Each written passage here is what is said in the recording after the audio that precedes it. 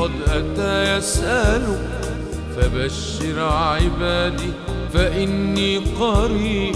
فبشر عبادي فإني قريب. فبشر عبادي فإني قريب.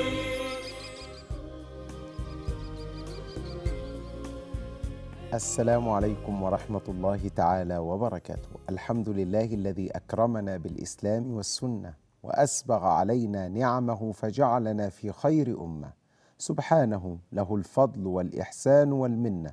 والصلاة والسلام على خير إنسان وأكرم ولد عدنان. بدد الله به الظلمات وكشف به الغمة ورضي الله تعالى عن الصحابة أجمعين. نصر بهم دينه بجهاد العلم وجهاد الأسنة. ورحم الله التابعين. وعلماء المسلمين الأبرار ذوي المناقب والفضائل الجمة. وبعد مشاهدي الكرام حيثما كنتم وأينما كنتم في أرض الله الواسعة حياكم الله وبياكم وجعل الجنة مثوانا ومثواكم جميعا. قولوا آمين ويلا الشعار بتاعنا الجديد مع القديم. جزى الله عنا سيدنا محمدا ما هو أهله. اللهم اغفر للمسلمين والمسلمات والمؤمنين والمؤمنات الأحياء منهم والأموات. اللهم ارحم أبي وأسكنه الفردوس الأعلى يا رب العالمين. سيدنا عمر بن الخطاب رضوان الله عليه وأرضاه كان يتفقد أحوال الرعية في ليلة من الليالي. ولم لا؟ وهو الخليفة الذي كان يقول إن نمت نهارا ضيعت رعيتي وإن نمت ليلا ضيعت نفسي. وبينما هو يسير استوقفه حوار يدور بين أم وابنتها. تقول الأم هيا يا بنيتي فأسرعي فامزجي يعني فأخلط اللبن بالماء قبل أن يطلع الفجر. فالبنت بتقول لها أماه إن أمير المؤمنين عمر قد حرم مزج اللبن بالماء. فالام قالت لها يا بنتي هو فين عمر دلوقتي؟ وأين عمر منا الساعة؟ فقالت البنت أماه إذا كان عمر لا يرانا فرب أمير المؤمنين عمر يرانا. الحوار ده كله سمعه سيدنا الفاروق من وراء الجدران. فرجع لبيته جري. ونادى يا عاصم! من عاصم؟ عاصم ابن عمر ابن الخليفة. قال لبيك يا أبي. قال اذهب وتزوج بنت بائعة اللبن. قال له أنا؟ ابن أمير المؤمنين يتجوز بنت بائعة اللبن؟ واخواته وقفوا معاه. فقال عمر والله لئن لم تتزوجها لتزوجتها أنا. اذهب وتزوجها فإني أرجو من الله أن يجعل من نسلكما صالحا يقود العالم بأكمله. الله الله. راح سيدنا عاصم اتجوزها فأنجبوا بنت جميلة قوي سميت ليلى وكنيت بأم عاصم وتزوجت ليلى هذه رجل من خيار بني أمية يقال له عبد العزيز بن مروان علشان تنجب لنا بطل لقائنا اليوم التابعي سيدنا عمر بن عبد العزيز رضوان الله عليه وأرضاه. بالمناسبة مصر تشرفت إن سيدنا عمر بن عبد العزيز اتولد على أرضها وتحديدا في مدينة حلوان سنة 61 هجريا، ليه؟ لأن أبوه في التوقيت ده كان والي على مصر. نشأ عمر في تلك الأسرة العامرة التي كانت مليئة بالورع والتقوى لحد ما دخل مع أبوه اليوم لاسطبل الخيل كده وهو صغير فإذا بفرس يضربه فيشجه فأبوه جعل يمسح الدم ويقول إن كنت أشج بني أمية إنك اذا لسعيد. إيه أشج بني أمية دي؟ دي بشارة بشارة عظيمة جدا. المهم بدأ يدخل لمرحلة الصبا فابوه قال له مصر ما تنفعكش. أنت لازم تسافر للمدينة المنورة على ساكنها الصلاة والسلام. ليه مصر ما تنفعكش؟ لأنه مش عايزه والي ولا عايزه خليفة. مش عايزه يقعد معاه هنا ويتعلم أصول الحكم. هو عايزه يرجع للمدينة المنورة على ساكنها الصلاة والسلام علشان يجلس إلى يدي علمائها فيتأدب بأدبهم ويتعلم من علمهم. ومنذ اللحظات الأولى كان سيدنا عمر بن عبد العزيز مشهور جدا بالنجابة والنباهة والذكاء وكان محافظ على الصلاة بطريقة عجيبة. ولك تتخيل إن المربي بتاعه في مرة بعت لأبوه وقال له إن عمر اتأخر عن تكبيرة الإحرام. كان عنده 8 سنوات في التقريب أو 9 سنوات في التوقيت ده. اتأخر عن تكبيرة الإحرام ورا الإمام علشان كان بيسرح شعره. فابوه بعت له وأقسم ألا يكلمه إلا لما يحلق شعره كله لأنه لا خير في شيء يؤخرك عن تكبيرة الإحرام. اسأل نفسك وأنت قاعد بتتفرج عليا دلوقتي كم واحد في أسرتك ما بيصليش؟ تسع سنوات؟ أبوه قال له ما ينفعش تكبيرة الإحرام تفوتك ورا الإمام. أنت بقى يا اللي قاعد بتتفرج عليا كم تكبيرة إحرام فاتتك ورا الإمام؟ كم سنوات وكم جمع وكم جماعات. واسأل مراتك بتصلي ولا لا واسأل ولادك بيصلوا ولا لا. تمر الأيام وطبعا معلش يعني لو كنت بنكد عليك علشان إحنا مش فاضيين للصلاة يا عم الشيخ وال يعني ما تنكدش علينا. عندنا يعني عندنا مسلسلات وعندنا برامج وعندنا يعني حاجات تانية خالص. يعني ما تنكدش. قول الكلمتين واتكل على الله. تمر الأيام ويتوفى أبوه. ويصبح في رعاية عمه عبد الملك ابن مروان اللي هو كان أمير المؤمنين. عبد الملك ابن مروان كان بيحب عمر بن عبد العزيز حبا جما لدرجة إن هو من حبه ومن شدة حبه ام مجوزه بنته فاطمة بنت عبد الملك اللي قيل في حقها بنت الخليفة والخليفة جدها أخت الخلائف والخليفة زوجها. صليتوا على الحبيب وتمر الأيام ويتولى عمر بن عبد العزيز على المدينة المنورة على ساكنها الصلاة والسلام. وبالمناسبة أنا كل ما أروح المدينة ويا رب لا تقطعنا من المدينة ولا من رحاب ساكن المدينة. واجعل لنا في المدينة عيشة واجعل لنا في المدينة سكنا ومستقرا واجعل لنا قبضا في المدينة ودفنا في البقيع بجاه سيدنا ومولانا رسول الله. فكل لما تروح المدينة المنورة على ساكنها الصلاة والسلام وتزور المساجد اللي في المدينة المنورة هتلاقي حاجة عجيبة قوي. هتلاقي إن اللي اهتم بكل المساجد دي وأحياها وقام ببنائها وقام بترميمها عمر بن عبد العزيز. أمال إيه؟ أهل المدينة كانوا يحبوه جدا حبا جما لدرجة قعدوا يحتفلوا بيه سبع ليالي. الله أكبر تخيلوا. الله أكبر لدرجة إن سيدنا أنس بن مالك صاحب سيدنا رسول الله صلى الله عليه وسلم اللي سيدنا النبي دعاله بطول العمر وحسن العمل قال والله ما رأيت أحدا أشبه بصلاة رسول الله بعد رسول الله من هذا الغلام. يقصد عمر بن عبد العزيز. زع صيته جدا في المدينة وسرعان ما يتولى أمر الحجاز كلها وكان مقرب من الخليفة الجديد سليمان بن عبد الملك اللي تولى بعد أيوة بعد عبد الملك بن مروان. طيب المهم هو في مرة كده مع سليمان بن عبد الملك بيستعرضوا الجيش والخيول والقوات العسكرية فبيقول له ماذا ترى يا عمر؟ أنت شايف إيه؟ قال يا أمير المؤمنين ارى دنيا يأكل بعضها بعضا وأنت المأخوذ والمسؤول والمحاسب بها وعنها.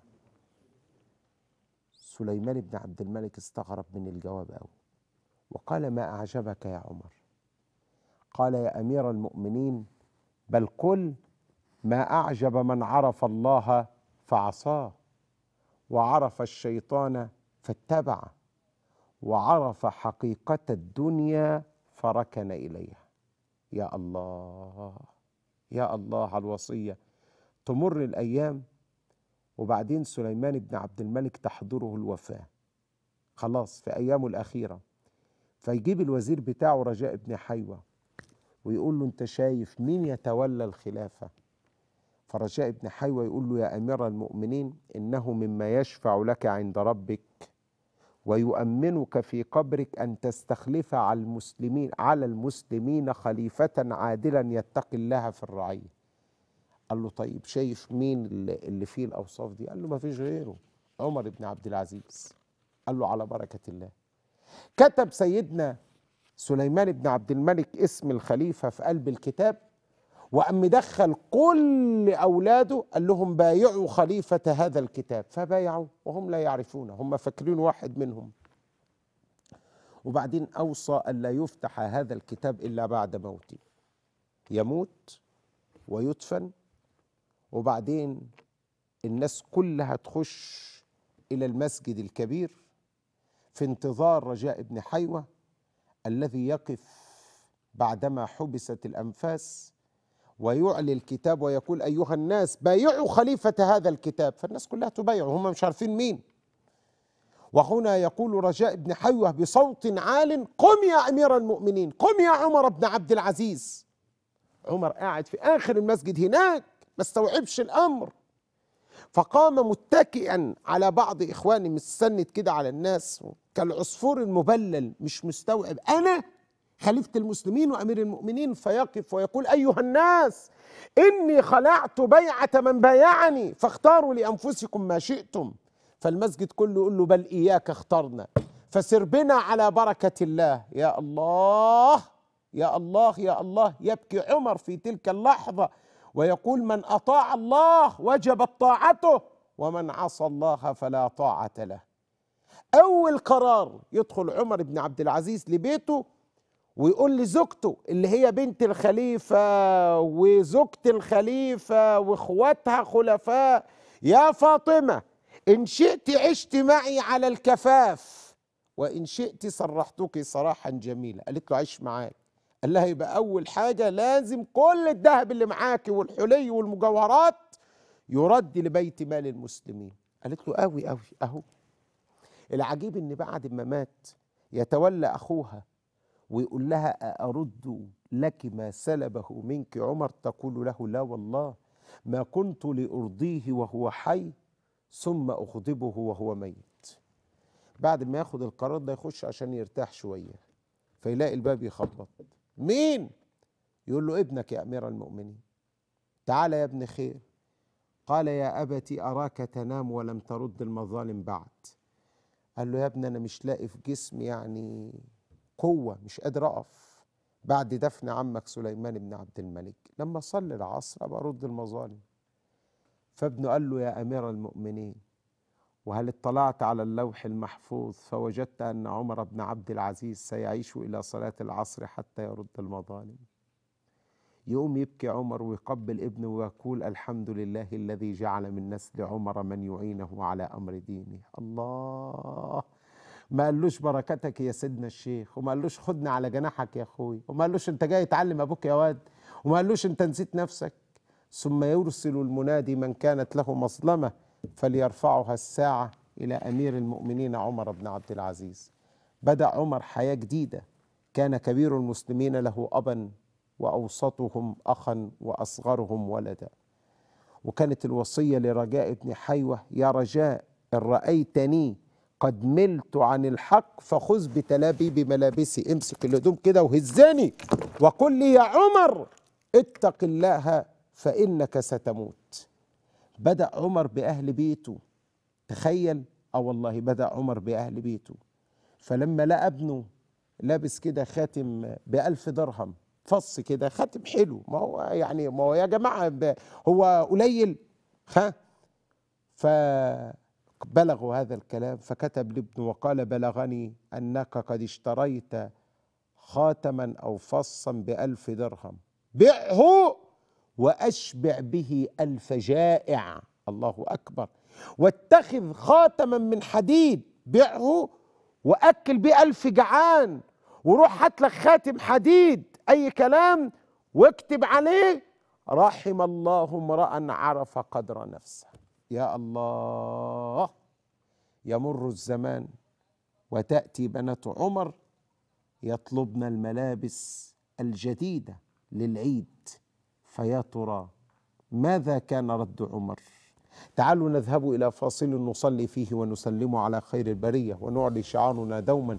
جزى الله عنا سيدنا محمدا ما هو أهله. اللهم اغفر للمسلمين والمسلمات والمؤمنين والمؤمنات الأحياء منهم والأموات. ثم نعود لنتمم الكلام فتابعونا ولا تفارقونا.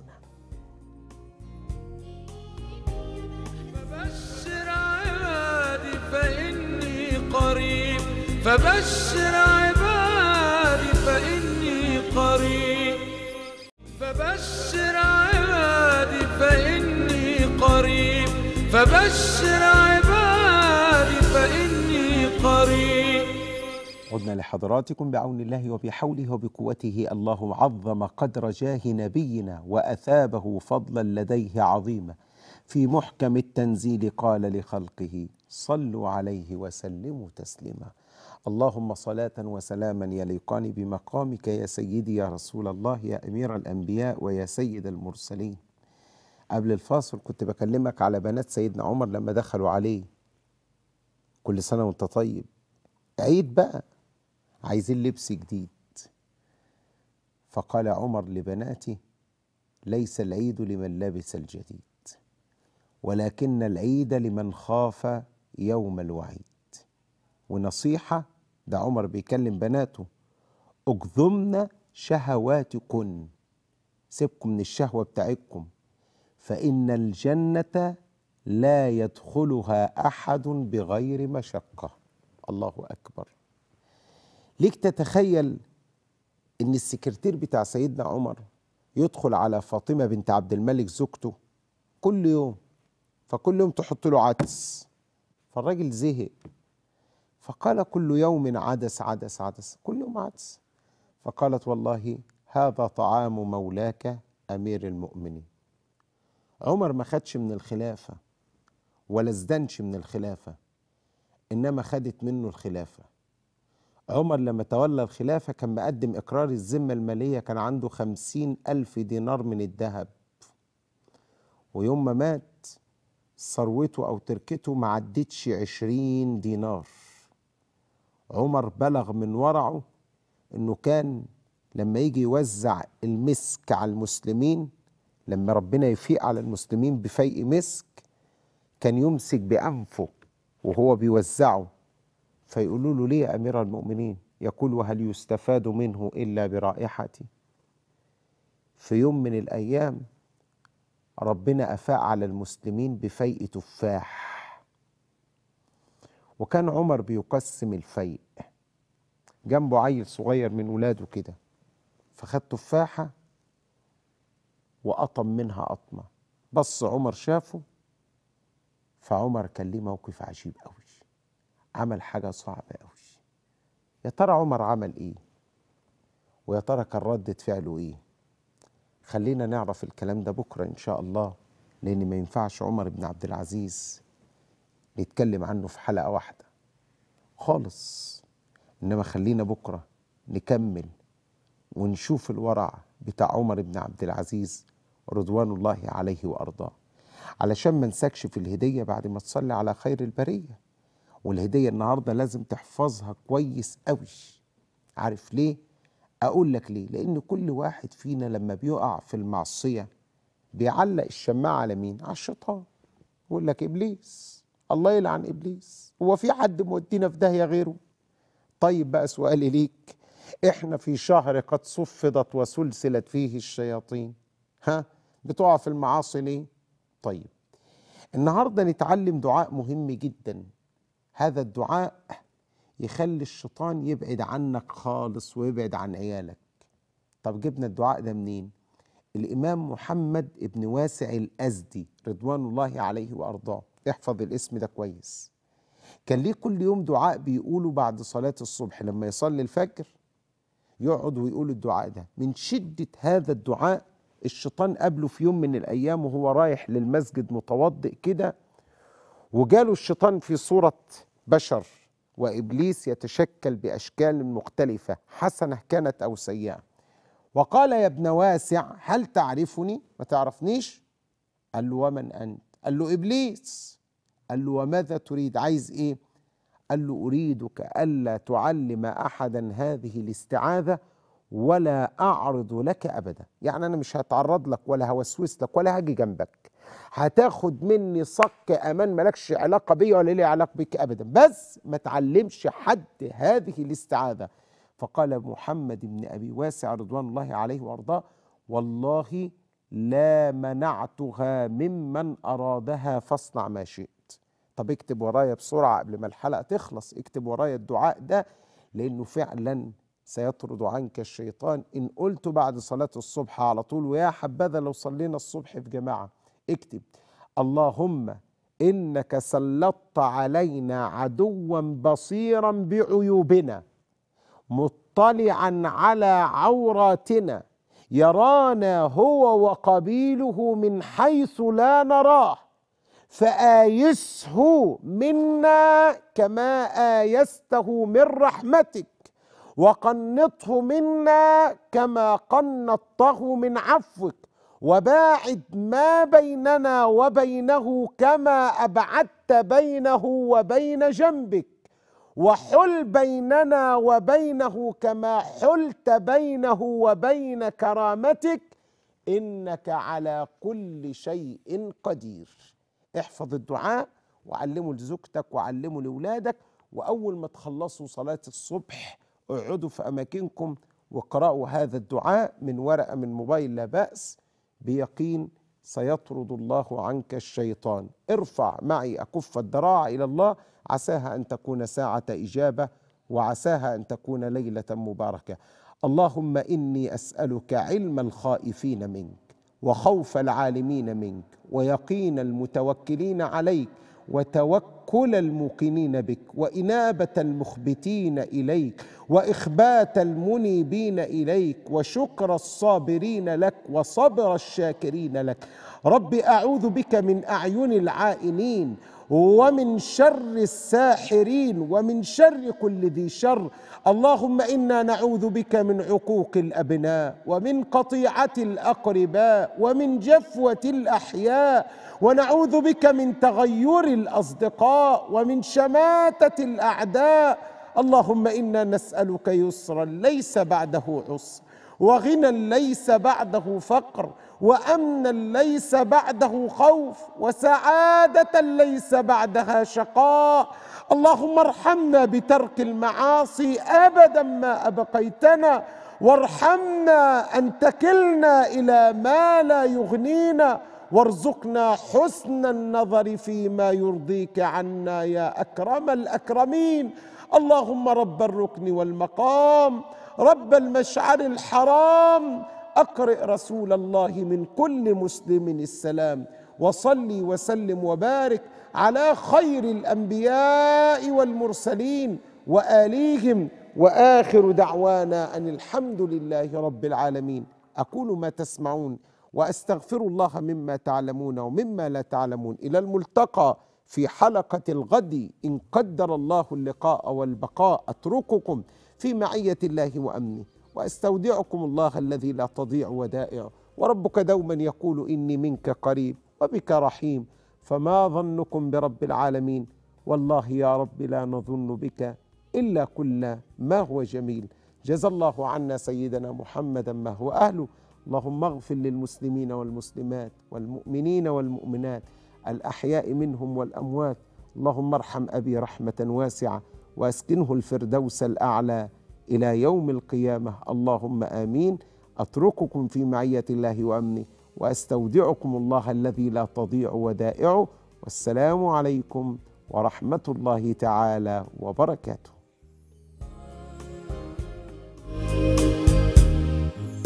مدد يا حبيبي رحمة وسلام. مدد يا حبيبي يا ماحي الظلام. مدد يا حبيبي رحمة وسلام. مدد يا حبيبي يا ماحي الظلام. مدد يا حبيبي القريب المجيب بقول كريم فإني قريب يجيب الرسول إذا ما دعاه لكل الذي للنبي سعى. أجيب الذي أتى يسأل فبشر عبادي فإني قريب. فبشر عبادي فإني قريب. فبشر عبادي فإني قريب.